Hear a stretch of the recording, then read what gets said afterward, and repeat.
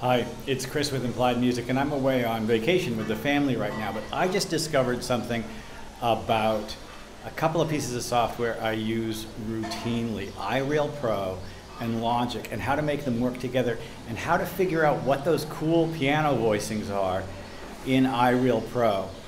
Well, I'm going to close the sliding door, and hopefully the pool sound won't percolate into the voiceover. So let's go over to the DAW. Okay, I'm back. Uh, as I said, I'm in the hotel room, so the sound is going to be bad.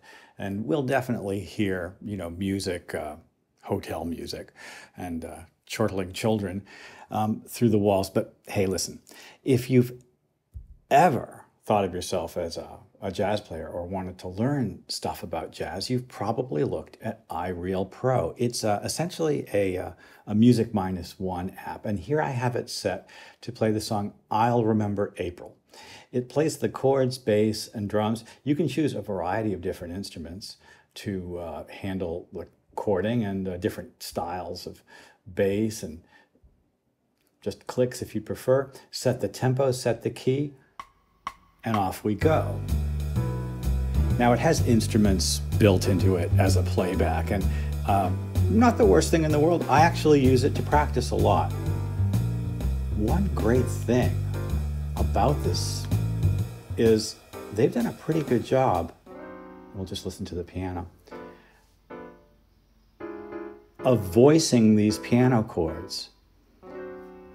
But there's no way to figure it out unless you're listening. Well, I discovered yesterday as I was playing around with this that there's a share button up in the upper right hand corner. Now, I'm not sure that this exists in the phone version of the app, but here it is on the desktop, and it's an inexpensive piece of software.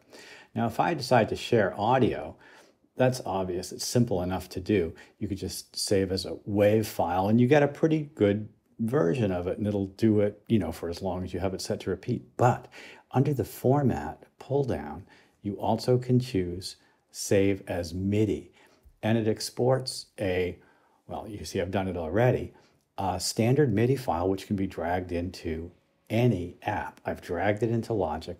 Let's take a look at uh, what I got here's my logic session. And, and as you can see, I've imported not only the WAV file, the audio, but also these three individual MIDI tracks. We'll listen to those in a moment. The, uh, the WAV file just sounds, you know, like it came out of iReal Pro. Pretty good. It's a very sort of flat sounding piano. It's not dynamic at all. But, you know, good. Okay, of course, the real question is what would it sound like um, with decent samples? So I've used a, a tech, and then a Kontakt bass and then the drum kit from Logic. Well, it's a much overall better sound.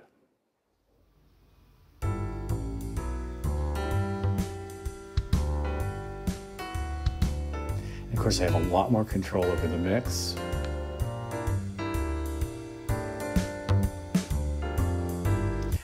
Here's what was delightful for me. Okay, so I'm particularly interested in um, the notes of the piano track, right? I mean, what are those voicings? Well, we'll want to be able to look at them uh, in detail and maybe uh, work on them a little bit. Here you can see exactly what the track was playing. In fact, let's just kind of solo that track and listen to it. They're generally speaking pretty strong voicings. You can see the voicings are over the seventh sometimes. Uh, the wide open voicings and clustered seconds give it a lot of spiciness. Now here's what I discovered when I imported it and took a close look at it. The velocities were just all the same and it just wasn't that interesting at least in the piano part and that's kind of surprised me but i guess you know what are you going to do so what I've done is I've used a Logic plugin to uh, randomize the velocities of the piano in order to give it a little more um, juice. There's the input range, and since the input range is just 110, let's widen it out. And suddenly I get a little more vitality in the piano sound.